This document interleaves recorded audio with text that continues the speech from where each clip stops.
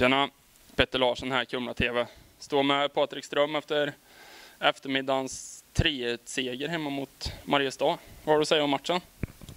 Nej, jag tycker vi är en, vi är en jättebra match tycker jag. Vi tar, eh, första perioden blir lite sönderryckt med mycket utvisningar för oss och så här, så, men vi, vi boxar ut dem och dödar den perioden bra och spelar 0-0 där. Sen tycker jag vi tar kommandot i andra perioden totalt där och sen eh, ja, lyckas vi stänga matchen bra i tredje perioden och få in ett mål där också.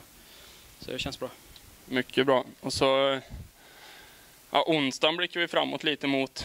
Vad, vad tror du där? Forshaga borta. Det, vad tror du där?